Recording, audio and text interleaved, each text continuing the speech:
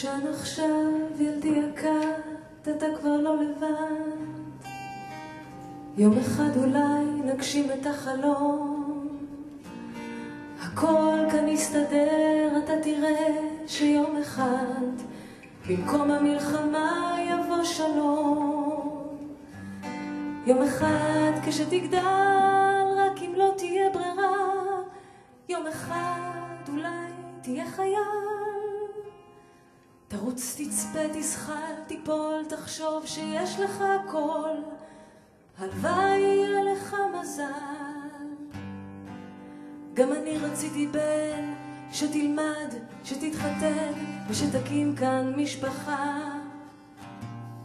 בינתיים יש חוקים, חוקה יש קבינט של ממשלה, בינתיים אין לך ברירה. עכשיו בונים את העתיד, מה כבר יש פה להגיד? בן שלי יקר, צא ותילחם, תביא קצת חומר, העולם הזה יקר. שנה עכשיו ילדי הכת, תראה שיום אחד כבר לא נפחד.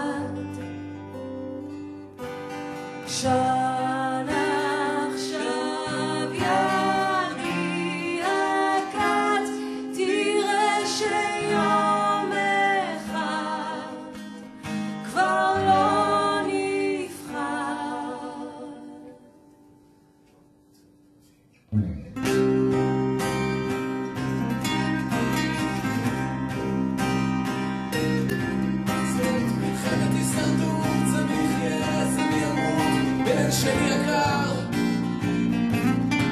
בעולם אכזר, עולמך עצר, זה כל מה שנשאר.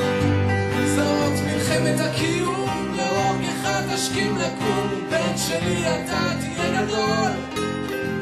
ואל תתני לו אהבה, או תתמלאי בגאווה, אחר כך נסדר הכל. שנה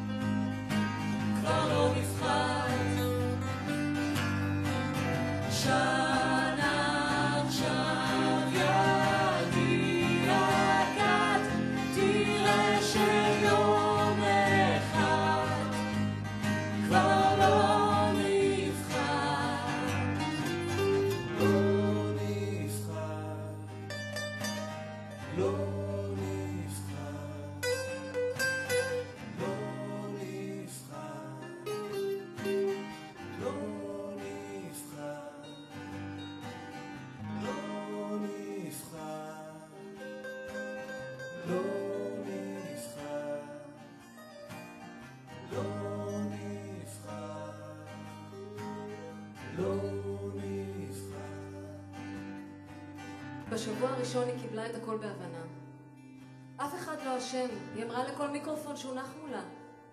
יואבי היה כל כך שלם ממה שהם עשו שם, כל כך היה גאה.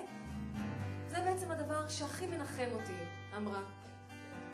יום לפני זה נתנו לו לצאת כדי לדבר פה בתיכון בשכונה על הפעולה, על מה אנחנו עושים שם.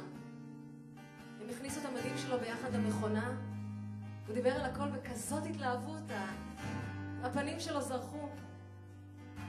בבוקר היא הסיעה אותו לתחנה המרכזית, חיבקה אותו חזק, ונתנה לו ללכת.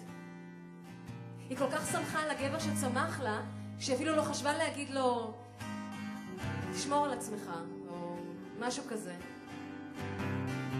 בשבוע השני הגעגועים התחזקו. היא נעשתה מבולבלת, היא, היא נשארה מבינה ומקבלת כמובן, אבל כבר ממש רצתה שהוא יחזור. בשבוע השלישי היה בכי אחד ארוך ומתמשך. לקראת השלושים היא נשמה עמוק ונכנסה לחדר שלו.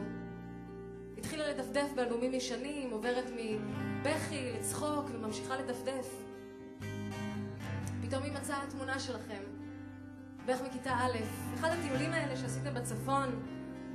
אתם עומדים שם, תמימות, מחויכת שכמותכם, מאחוריכם האריה של תל חי, וממש מעל הראש שלכם המשפט האלמותי של טרומפלדור. שנה עכשיו ידי הכת, תראה